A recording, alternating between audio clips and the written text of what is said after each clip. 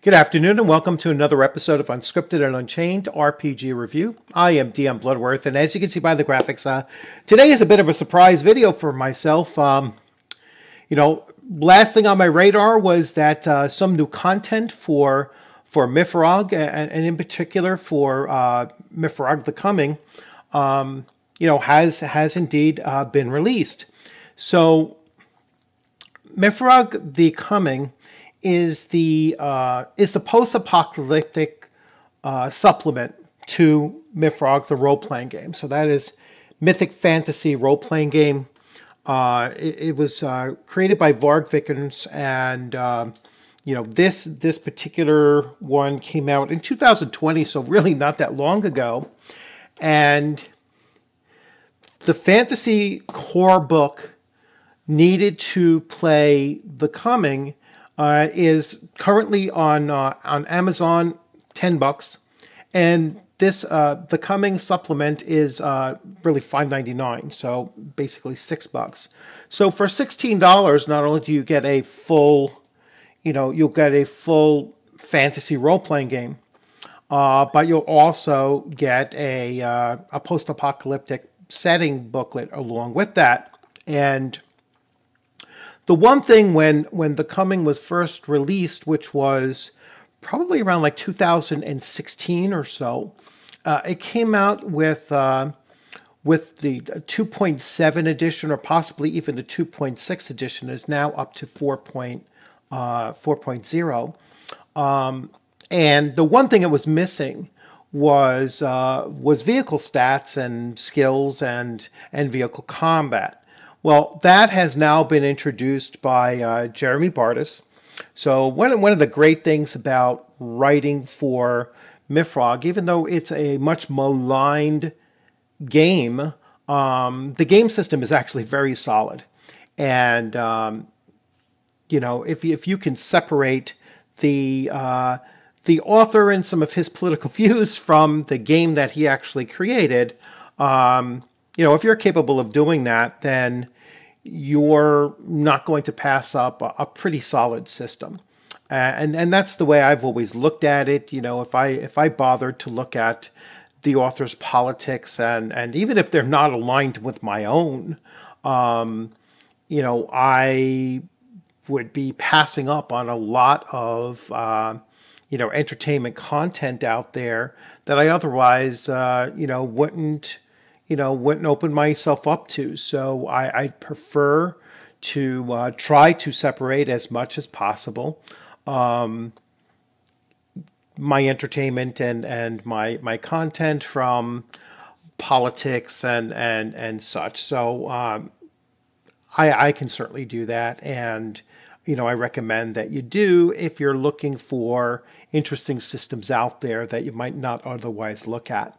So that all being said, let's start taking a look at uh, at the coming. So I'm just going to talk first about the, the new format. So the, the last couple of supplements that have come out for MYFAROG and, and now the coming is that uh, it, it, comes in the, the, the fuller size 8 by 11 instead of uh, the small pamphlet forms. I actually like this better because uh, it, it fits on the shelf better along with the rest of the books. It's now kind of uniform, um, you know, uniform size with the with the rule books and such. So, so that's that's one thing I was. I, I always get surprised. I don't know why. I should stop getting surprised that they come in this format, but um, it's a much easier format to read as well. And uh, let's get right into it. Now, my view of this is, you know, going to be from the drop-down camera.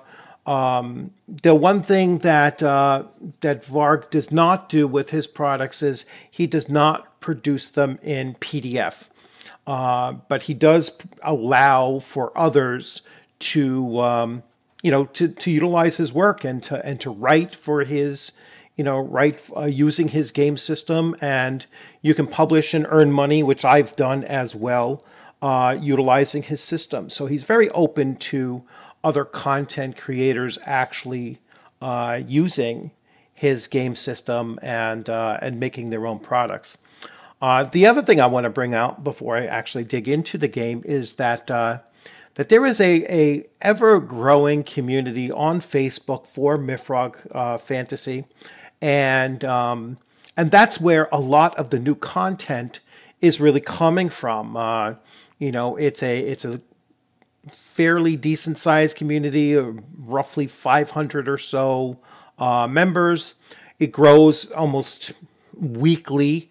Uh, I get I get posts, uh, you know, requests to join, and um, you know, and once they do join, it's it's a fairly active community. There are games being run there, and uh, and as I said, there's there's contributors like uh, Jeremy Bartus who is actually writing content for the game and then making it available. So let's get into the what has been added now. So I am going to go into this drop down view here. So as you can see, and it's it's going to be slightly distorted.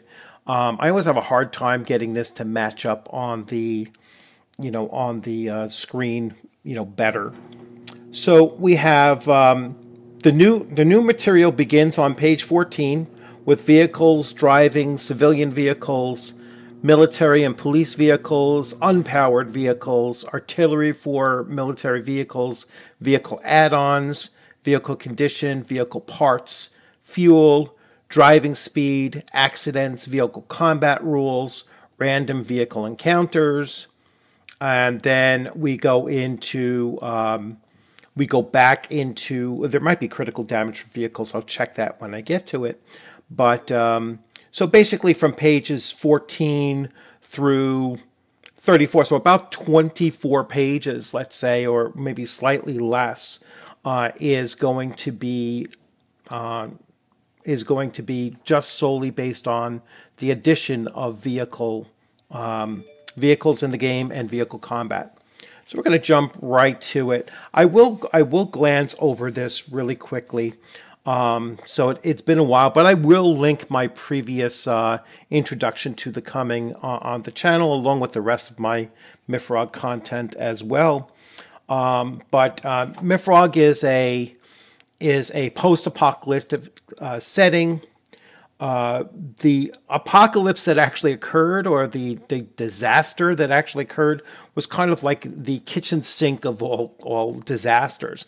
I mean, there was biological, nuclear, um, geothermic, uh, zombies, uh, you know, um, mutations, uh, virtually everything, plus, uh, you know, uh, mega corporations and uh, corrupt governments and, you know, corrupt religious groups and death cults and just everything under the sun was uh, included in the apocalypse that leads you to this uh, this point here. So there was quite quite a bit, um, and and and perhaps a little bit too much, at least for my taste. I would like you know choose one and go with that, um, but still pretty cool. It has um, it has all the things you would expect in a post-apocalyptic setting. So you have various skills for foraging and you have radiation and radiation uh, sickness. You have mental health conditions that uh, you know that would manifest themselves. Um, you know, due to obviously living in a post-apocalyptic world, you, would imagine that there would be, you know, quite a bit of emotional stress and trauma. Uh, you have mental healing. You have the effects of losing your mental health. You have post-traumatic stress disorder. Um, you have some more modern. Now, this is a modern setting again, so you're going to have uh, modern weaponry added to the fantasy weaponry that we had before, and that certainly includes firearms and you know various types of ammunition and everything. The one thing this system does really well is that it, it does have a nice mix of firearms and uh, and then different types of ammunition even for those uh, those firearms. So that's uh, you know that's something that's a reality. There's also seems to be a mix of you know predominantly like European uh, European style weapons and and nomenclature and um, and and then American as well. So you have a mix of both types, um, which again is, you know, just the nature of uh, utilizing what you know best. And uh, Varg being a European, you know, that's that's where he is going to have a lot of uh, his knowledge base from.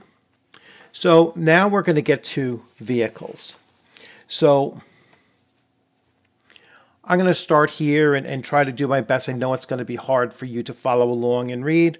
Although oil and other fossil fuels are virtually extinct in the coming, that oil is left is scavenged to uh, what oil is left is scavenged to uh, fuel what vehicles were left behind from civilizations, vehicles that haven't been stripped of parts or other valuable materials such as copper are an indispensable tool to anyone wanting to survive. They can serve as a means of transportation, a shelter, or as a weapon. They come in all shapes and sizes from uh, the modest motorcycles to the heavy armored military vehicle. A person wanting to survive might not be able to find the most suitable vehicle for their needs, but they must make use of whatever serviceable vehicle they can find. So there is uh, a driving skill and um, and the effects of driving on uh, paved roads, on dirt roads, off road. Attack using a vehicle has a modifier. Controlling a vehicle being attacked uh, is a modifier. It has a it has a difficulty rating of uh, a 16, you know, so it's hard to control a vehicle while it's being attacked. Uh, jumping an obstacle and landing safety uh, safely um, has a, let's read this here, it has a difficulty level equal to the obstacle length in feet divided by 4 minus the speed modifier and weight mod. See vehicle combat rules. So, um, yeah, this is kind of a throwback to some of your older game systems like Rolemaster, uh, there is a bit of crunch to MYFAROG, but for many of us, um, you know, doing some doing some math isn't a big deal. Um, you have your speed modifiers, so if you're driving very slowly, between five and ten miles per hour, it is uh, a plus two. Driving slow, 15 to 25 miles per hour is a plus one. Driving a moderate speed of 30 to 45 is a plus zero. Driving fast, 50 to 70, is a minus one to your skill modifiers. Um, driving very fast, 75 to 85, is a minus two. And driving extremely fast, 90 plus, is a minus three. Environmental modifiers for driving you have driving on a paved road, uh, dirt road gives you a minus one, off road minus two, driving on a, a, a winding road, sorry, I almost said winding, a winding road is a minus two, driving through mud, a minus three, fording through a flooded area, minus three, fording through running water, a minus four. All right, so interesting uh, thing that he would include that, you know, so that's that's pretty cool. Um, you know, there's there's a lot of detail here so far. Optional rule, manual and automatic transmissions. So very very interesting here. So uh, Jeremy goes into um, different modifiers whether you're driving standard or automatic. So that's pretty cool. Uh, weather conditions affect your driving ability. So now we're going to go to um, civilian vehicles. So we have motorcycles, we have sport bikes, we have subcompact cars, and we have sedans. So let's take a look at some of these stats here. So your typical motorcycle is going to be 830 pounds. It's a minus two for uh, size uh, size modifications. Towing capacity has none. Fuel tank in liters is 231 liters. Uh, fuel type is either petrol or gasoline. Driver plus passenger is a 1 plus 1. Capacity has NA, uh, NA, that means cargo capacity. Maximum speed 100 miles per hour. Um, is obviously not the crotch rocket uh, um, Kawasaki's or Ninjas or, or you know, whatever. Um, real value 250. I don't know what that 250 is in. um, probably whatever modern currency. It's been a long, long time since I've played uh, uh, The Coming for MYFAROG. Armor protection zero. Defensive value is a plus 14 against melee and just a plus, I'm sorry, a plus 14 against, uh, against missile and a plus 5 versus melee. Possible add-ons, SB. I'll get to SB later on uh, and possible add-ons. So now we'll go to a, a, a typical car, a compact sedan, let's say. So 3,000 pounds. 1,500 pounds of uh, towing capacity, 451 liters of gasoline, driver plus passengers, 1 plus 4, capacity 4 barrels, uh, cargo, uh, maximum speed 100, acceleration 3 rounds. Uh, I didn't see the acceleration on, oh, just 2 rounds for the motorcycle. Uh, real value 700. Ease of driving is a plus one. Fuel consumption 71 per uh, 71 liters per 100 kilometers. Action zero. Defensive value plus, uh, plus 11. Uh, defensive value versus melee plus 5 and possible add-ons ST, TC, PB, LL, LS, CB, TH, and SL. I will get to that a little bit later. Um, we have a full-size sedan, a muscle car, sports car, pickup truck light, pickup truck normal, pickup truck heavy, sport utility vehicles. We have uh, a light and a normal. We have vans, box trucks, semi trucks without a trailer, a camper van,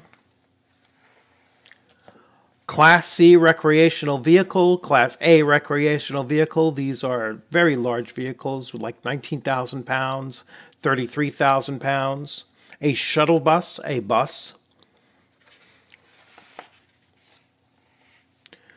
We have a police patrol car, military utility vehicle, light, military utility vehicle, normal, military utility vehicle, armored so it's probably like a Hummer. It can have, yeah, mounted machine guns, uh, heavy machine guns, a grenade launcher, or wire guided missile. Uh, that's actually for all of these here, plus a slew of modifiers as well. Uh, armored personnel carriers, main battle tanks, armored personnel carriers, uh, vehicle military. Oh, so there was SWAT and then there was military. Super tanks,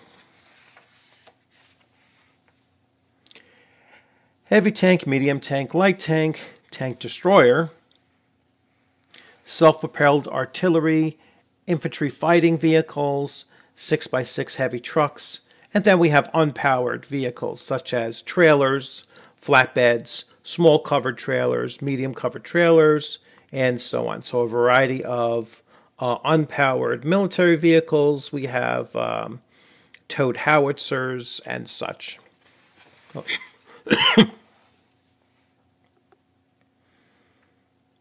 We have various types of artillery for um, you know four vehicles, for military vehicles, going from 37 to 57 millimeter, uh, all the way up to 152 to 155 millimeter. We have common gear for uh, vehicles, which I really like actually. So common gear in a police patrol car, you'll find one semi-automatic rifle, normal with two magazines, one pump action shotgun, two Kevlar vests, one first aid kit, one flashlight, ammunition of 9mm 45 APC, 2.23 and 12 gauge uh, ammunition. So um, pretty cool that they, he has uh, included uh, typical equipment you would find in these vehicles. Then we have vehicle add-ons, and I was talking about that earlier with the abbreviations. So you have snow tires, that's ST. You have tire chains. You have spotlights. You have push bumpers. You have small light bar, um, which affects your perception. Interesting. Oh, light bar on the, on the top of the vehicle. Okay. Uh, large light bar. That's like the, the lights that you see either on the bottom of the um, on the bottom of the bumper, like fog lights, or on top, uh, like you see on Jeeps a lot of times. A trail hitch, electric winch, saddlebags for motorcycle, obviously, and a CB radio, all right, for your dispatch vehicles. Vehicle condition. So there's rules here for vehicle conditions and their impact on your uh, difficulty ratings for uh, for driving. So if it's a terrible condition, then you need an 8 in order to drive. Um, you need to roll an 8 on 3d6 in order to effectively drive it. There are consequences for failure, condition deterioration and improvement over time, and improvements, so replacement parts.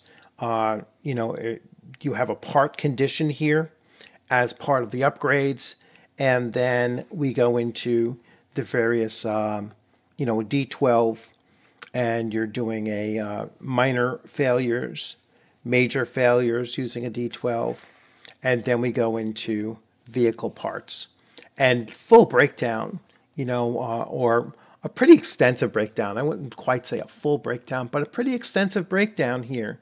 So you have brake pads, you have fuel lines, you have brake lines, uh, silence or mufflers, uh, rotors, uh, we'll just jump down here. You have spark plugs, you know, two ounces. Um, to install or repair is a DD10. Uh, so that's a, you know, that's the roll that you have to make on 3D6. And uh, real value, about 10, um, 10 in the currency that they're utilizing. Uh, motor oil, saddlebags, air conditioner compressors, radiators, windshield wipers. Uh, so they, you know, have a, a full listing here. So you have driving speed, accidents, damage to players from accidents. Um, so if you have a crash and you're driving fast, uh, 2d6 damage, uh, which is a considerable amount of damage. Um, you know, the average the average person had like a about eight hit points, if I recall. And so um, 2d6 is a significant amount of damage. Um, vehicle damage modifier. Uh, so you would add based on the speed, how much, how many points added on to the, the basic roll. Defensive value modifier only applies when attacking the target broadside. Okay, uh, so that's when the defensive value comes into play. Damage to the vehicle is a D6. It can be rendered on a 5 to 6 uh, to be undrivable. And beneath that, either have no no damage at all on the 1 to 2 or have damage that inhibits some of its function. Vehicle combat rules. And so there's a base modifier that you apply to your attack dice uh, when you're using a vehicle as a uh, as a either a weapon or a um, the base of a weapon system. Damage caused by being struck by a vehicle. There's a system for cover, using vehicles as cover.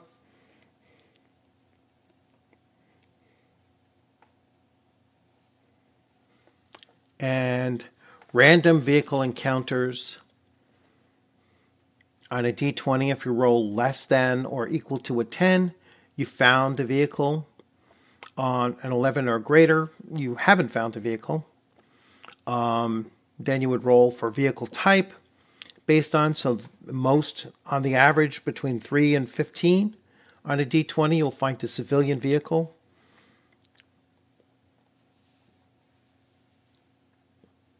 Transmission type.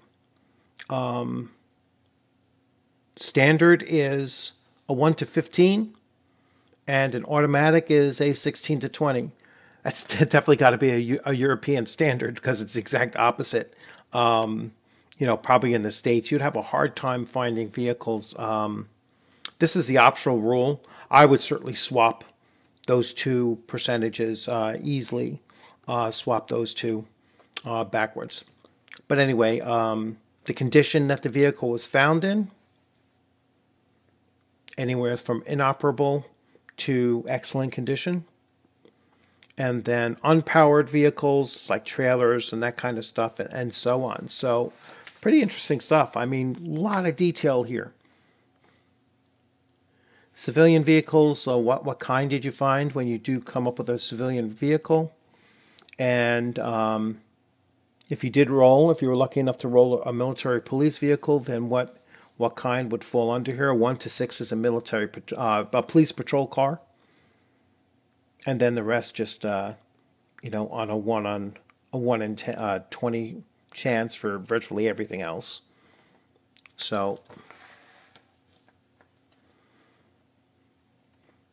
healing and critical damage. All right, so this goes back to the original rules. So it goes uh, back to um, to the regular non-vehicle portions of the game rules. Right, let's see if there's anything else new.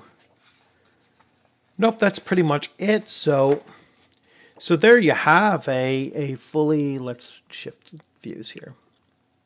So there you have it. I mean, for for six dollars, you're adding such an incredible element of um, um, content to your post-apocalyptic, uh, you know, game system that you're using and and setting that you're using. That it's it's certainly worth uh, getting a hold of, and um, you know it should have been included all along, but uh, but now that we have it here, it's certainly something that you can add to the uh, you know to your current campaign uh, very easily. Uh, looks like the rules are you know fairly simple, uh, especially if you're used to the MYFAROG rule system, and then um, the various options and everything that you have on there. The way that you can really integrate this and and become part of the, the major part of your uh, campaign uh, is certainly there. The, the building blocks for that are certainly there. I know when I played uh, the MMO Fallen Earth, uh, it was a multiplayer, uh, massively multiplayer online game, uh, post apocalyptic setting. And many of us, there, there were many active communities on the server. And uh, the server, if you're not familiar with it, uh, was uh, you can you can voluntarily flag yourself for PvP, and um, you know at any time. And then there were a couple zones where you automatically go into PvP once you entered those zones. But for the most part, um, I was in groups that would voluntarily flag at all times. So anytime you were, and there, there were a lot of motorcycle uh, clubs and car clubs and such, and, and the keys to getting into those various clubs was that um, you had to have the skills to build your own bike. That was the initial thing. You had to have the the mechanical and the scavenging skills and everything to bring everything together and to build your first uh, motorcycle. And that was your initiation to get in to a club. And then once you were driving in any or riding in any group larger than two, so once you were in a group of three, you had to you had to be flagged for combat. Um, so for PvP combat, and uh, we had one one neutral city that we would all um, travel to. That was Flagstaff, uh, Flagstaff Arizona, and uh, it just the the the vehicle building became such a core aspect of the role playing at the uh, you know on that server that um, you know I, I don't think the game would have been anywhere as close to as interesting uh, without that component. Now that that component is added to the coming here, you know, again, I think that the people playing this are going to find that it is a uh, a huge benefit uh, to your campaigns to have included this. Um, you know, so great work, uh, Jeremy Bartus. Uh, thanks to Varg for you know allowing the community to keep on producing things for his game system and, and to get it out there. And and again, you really can't beat some of the pricing at you know $10 for a core rule book that is, you know, over 200 pages long and, uh, you know, and then $6 for a supplement that really adds a whole new component to uh, the role playing system. And, you know, without that, uh, you know, without that openness and support from a community, you know, you wouldn't have a game like this that is still going along and uh, people are still contributing to it, still playing it. And uh, it's something that I've set aside for quite a while. And, you know, this kind of thing is really something that could bring me back into it, uh, at least from time to time, uh, while I delve into all of my other games as well. So, as always, thanks for joining. Um, you know, enjoy the rest of your week. I hope you like this video. If you like this video, please give it a thumbs up. Uh, if you have any questions or comments, uh, please leave those in the comments section. And, um, you know, as always, if you haven't subscribed, please consider subscribing. And, um, you know, as always, look forward to seeing you on the gaming screen sometime soon. Thanks for joining and uh, have a great rest of your day. Take care.